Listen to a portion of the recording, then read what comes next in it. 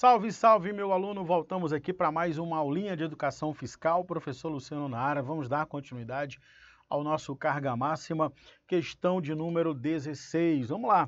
Questão 16 fala assim: de acordo com a Constituição Federal, a competência tributária para instituir ICMS é dos estados federados e do Distrito Federal. Relativamente a esse imposto, é considerado, né, considerando a disciplina estabelecida no Código Tributário Nacional, letra A a atribuição da função de arrecadar, olha aí, ó, a função de arrecadar, que vai ser o que chamamos de capacidade ativa tributária, que pode ser delegada, tá bom? Inclusive para pessoa jurídica de direito privado.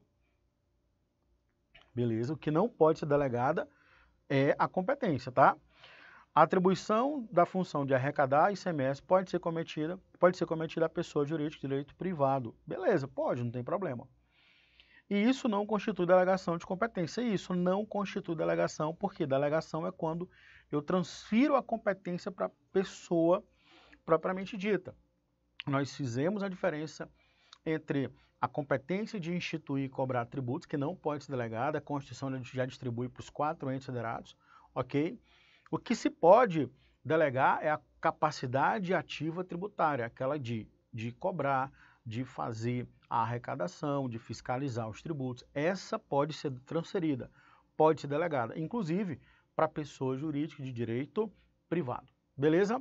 O que não se confunde com delegação. Delegação não pode ser transferida, a competência não pode ser delegada, tá? Mas a capacidade ativa tributária sim pode ser. Então, pessoal, aqui eu tenho a letra A, o nosso gabarito, tá bom? Beleza, corretíssimo. Bora ver aqui a letra B, porque está errada. Aos estados, os estados não poderão delegar a competência tributária em nenhuma outra, a nenhuma outra pessoa, mas poderão delegar aos municípios. Opa, não, pessoal. Mais uma vez, ó. Competência tributária não pode ser delegada. Se a Constituição diz que aquele tributo pertence ao Estado, só o Estado pode legislar. Se a Constituição fala que o tributo é de competência daquele município, só o município é que pode criar aquele tributo. Tá bom? É, é competência tributária distribu distribuída nos termos da Constituição não pode ser delegada, não pode ser transferida. Então já fica errado aqui a letra B, errado. Letra C, o não exercício da competência tributária né, pelo Estado difere-se primeiramente à União e, caso essa competência não seja por ela exercida, defere-se, né? Defere-se aos municípios realizados no território. Não pode haver essa transferência de competência, mais uma vez. Letra D. A competência para legislar é tanto dos estados quanto dos municípios. Opa! Competência para legislar sobre direito tributário não pertence nem a estados, nem ao município. Nós vimos que pertence à União, tá? Errado. Letra D. Letra E. É competência para instituir esse tributo. A competência para instituir esse tributo poderá ser delegada. Já está errado, pessoal. Nós aprendemos que competência não pode ser delegada. Então, quando ele fala aqui, poderá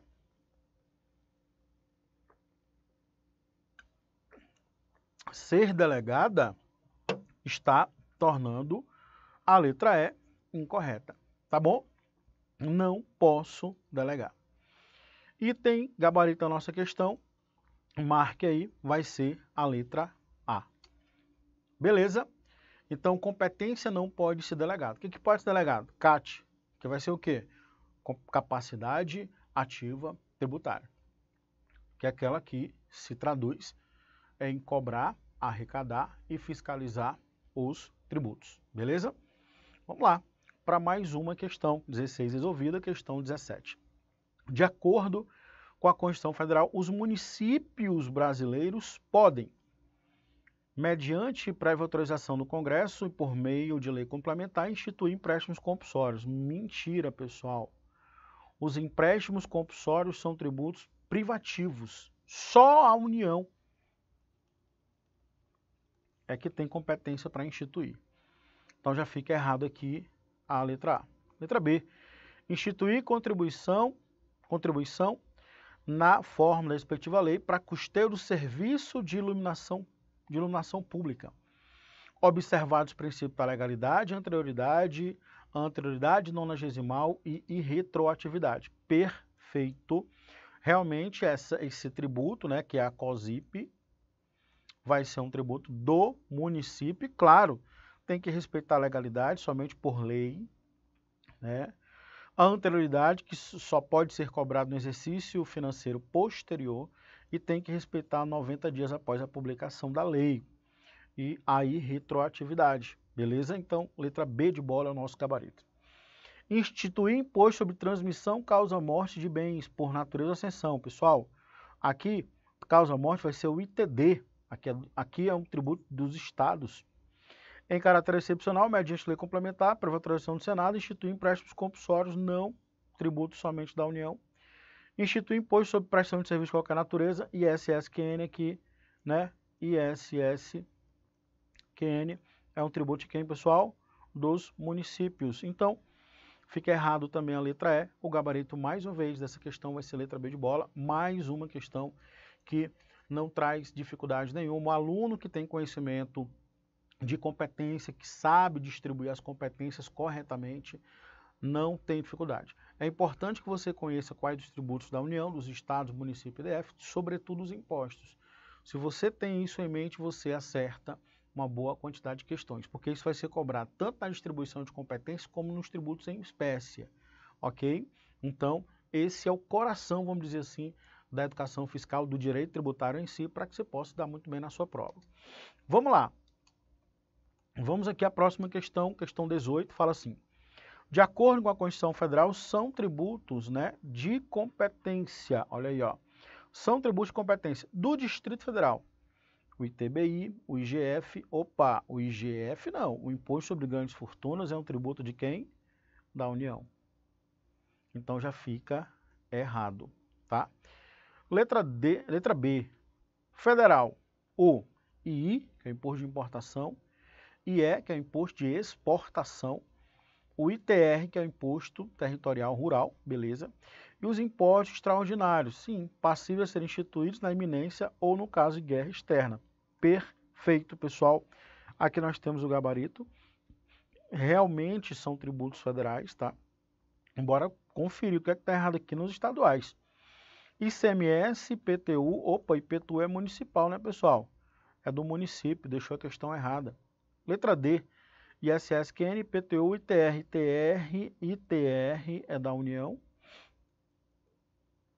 é da União Federal, beleza, deixou errado. Letra E, Federal. Federal nós temos IPI, ok. O ITBI não, galera. O ITBI é do município, né? Então também deixou errado. O ITD, ó, o IT, ou também pode aparecer ITCD, é um tributo que estadual. Também está errado essa alternativa. Letra B de bola, marque aí, é o nosso gabarito, tá bom?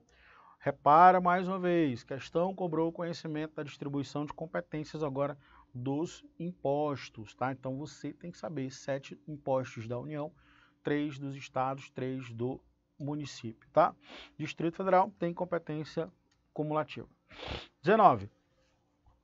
A Constituição atribui competência da União, os estados, DF, os municípios, para instituir impostos, taxas, contribuições de melhoria, as pessoas de direito público também têm competência para instituir contribuições. De acordo com a Constituição Federal, municípios podem instituir contribuições. Ó, os municípios podem instituir contribuições para custeio de serviço de iluminação pública né, na forma das respectivas leis. Ok. Né? Dois, sociais, já não pode, porque as contribuições sociais são de competência da União. Né? Já fica errada a letra A. Letra B, é, um, para custeio de serviço de iluminação pública na forma da respectiva lei, ok. Né, cobrar de seus servidores para custeio é, em benefício deste, regime previdenciário estatutário. Beleza, também está correto. Só que três aqui, intervenção do domínio econômico, é a CID. A contribuição de, de intervenção do domínio econômico é um tributo federal da União. Então, ficou errado aqui três. É, C, de intervenção no domínio econômico já está errado, porque aqui é um tributo federal, tá bom? Da União Federal. Então, 3 também já fica errada. Letra D, intervenção no domínio econômico também já fica errada, porque isso aqui, ó, e sociais, ambas são da União Federal. Ambas da União.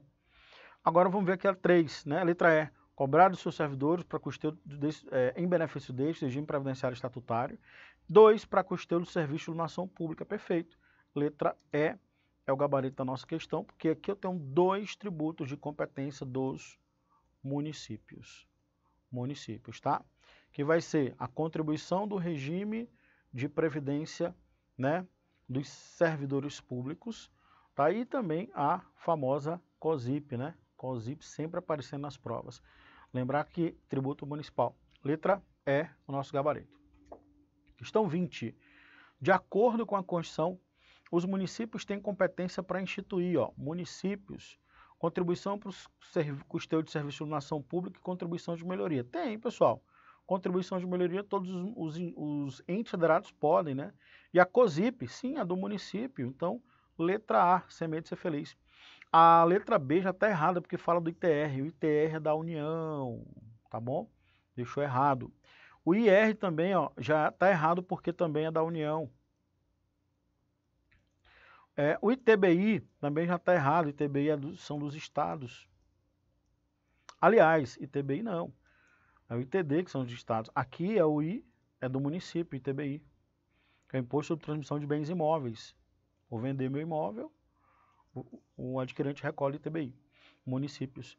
E SSQN também, tributo do município, tá? Estaria correto em, te, em tese, tá? E cadê competência para atribuir? ITBI sobre transmissão de bens imóveis por compra e venda e doação. Doação não, doação é ITD. O erro está aqui. E claro, ISSQN, serviço intermunicipal. Ó. ISSQN sobre ação de serviço de transporte intermunicipal intermunicipal não é o ISSQN, vai ser o ICMS. Só seria o ISSQN se for o serviço intramunicipal. Dentro do próprio município aí incidiria o ISS. Então, letra A, o gabarito da nossa questão, excelente questão. Repare também aqui que ele vai misturar os fatos geradores. Se falar de doação, né, doação já vai ser o ITD. Se falar de transmissão de bens imóveis a compra e venda, título oneroso, vou vender o meu imóvel, o adquirente vai ter que recolher ITBI. Tá bom? Diferentemente do ITD. O ITD é quando tem a sucessão em virtude de morte ou então a doação. Ok? E aqui nós temos o ISSQN, que cobra muito a questão do, do serviço de transporte. Só incide SSQN se for serviço de transporte é, intramunicipal, dentro do município. Porque se for intermunicipal interestadual, já vai ser o ICMS. Transporte do município A para o B, ICMS. Transporte do município para de um estado para outro vai ser ICMS. Se for serviço de comunicação, ICMS, tá bom? Então, gabarito da nossa questão vai ser a letra A. Marque aí.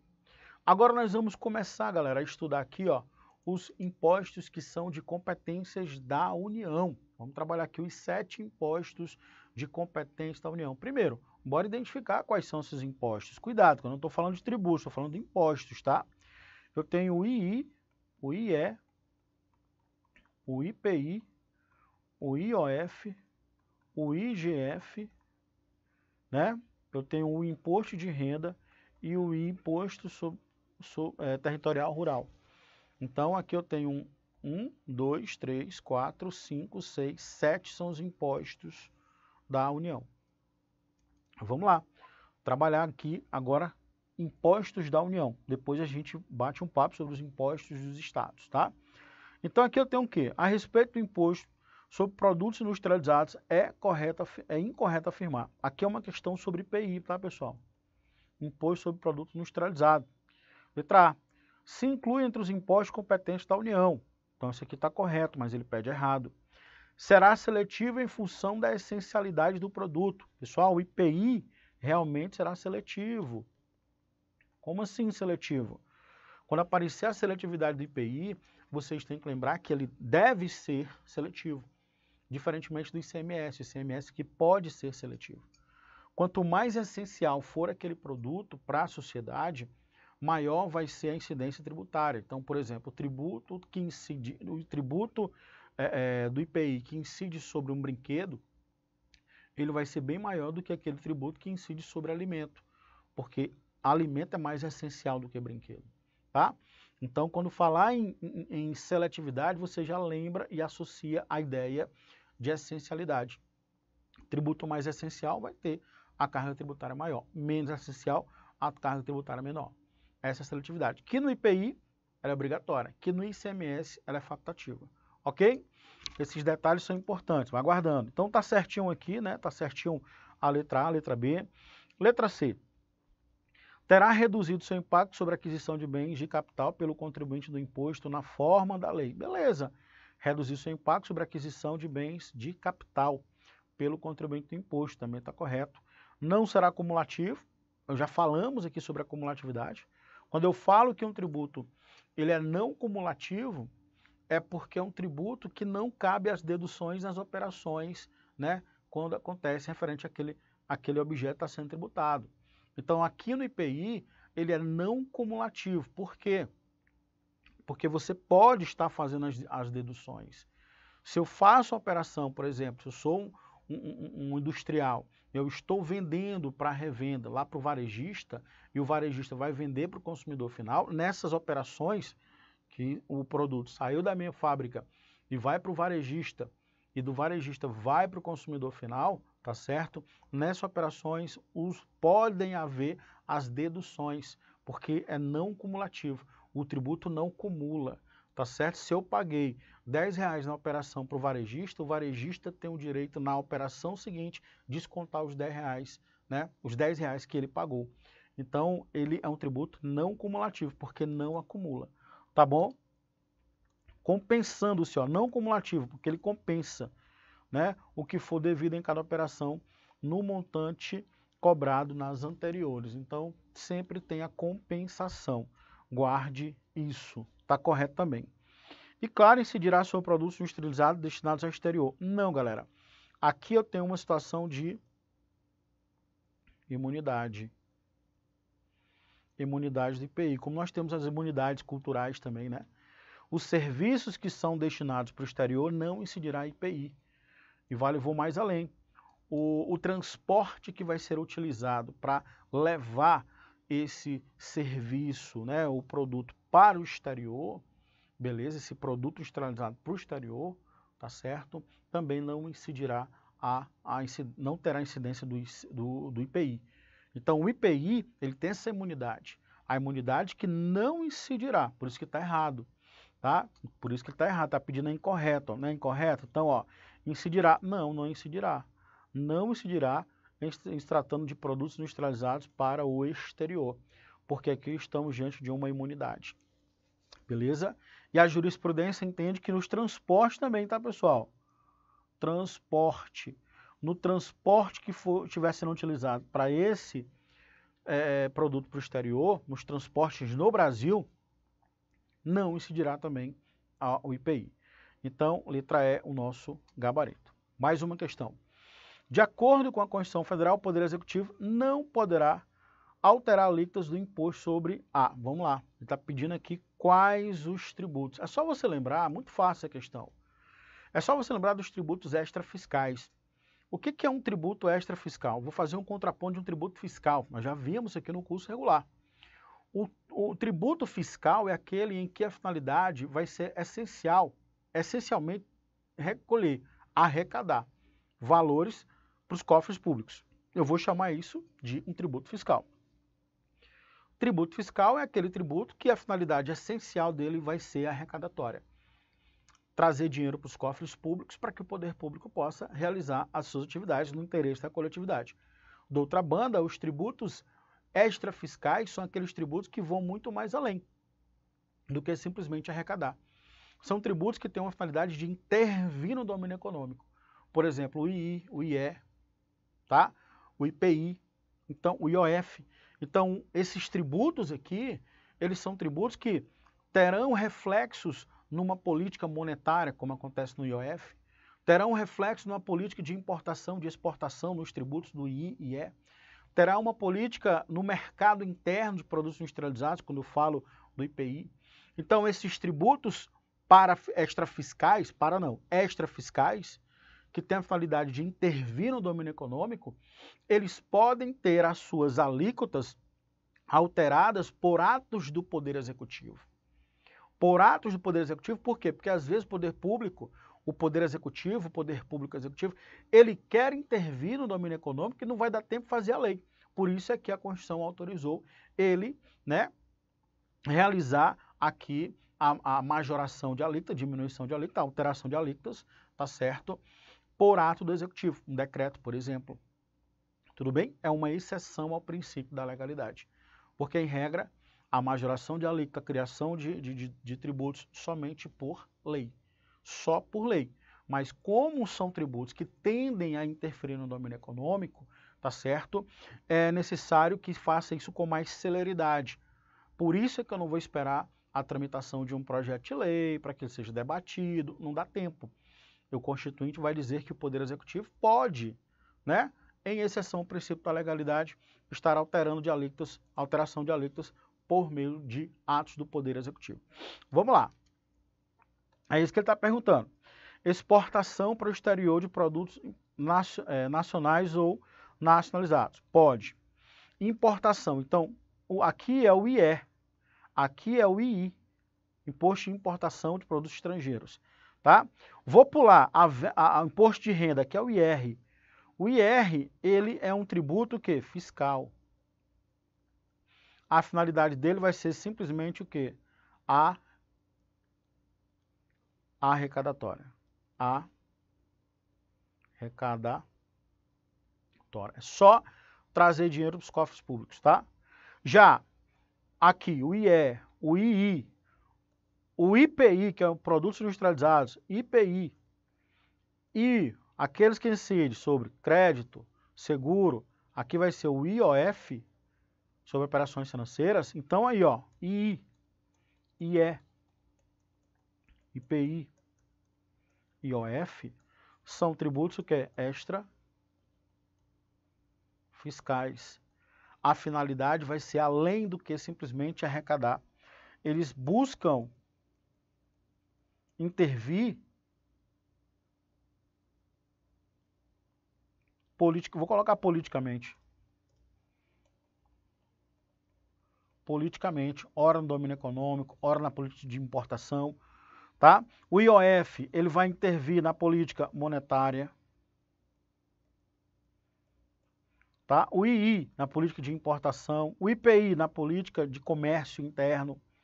Então, como eles têm essa finalidade, tá? é possível que haja alteração de suas alíquotas por ato do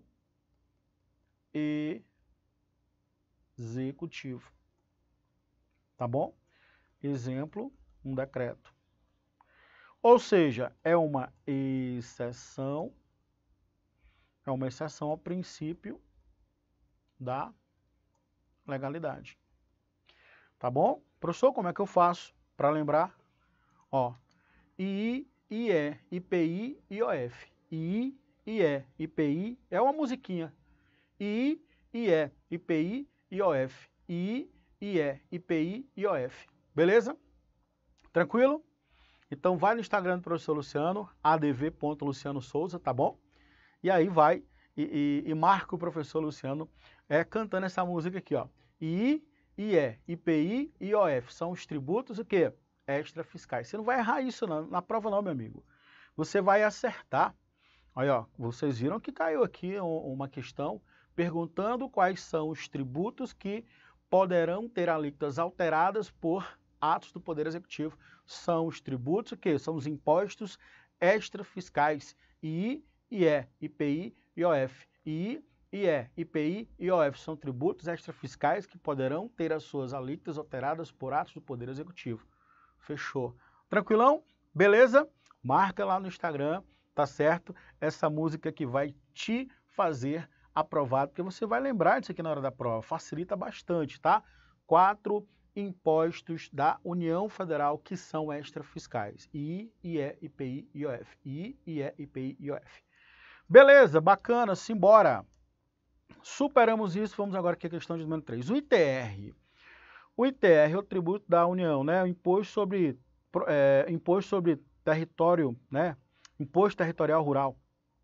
Fala assim, tem a prefeitura como sujeito ativo na respectiva relação jurídica tributária, substituindo-se a União no exercício da função de fiscalização desse tributo. Não, galera.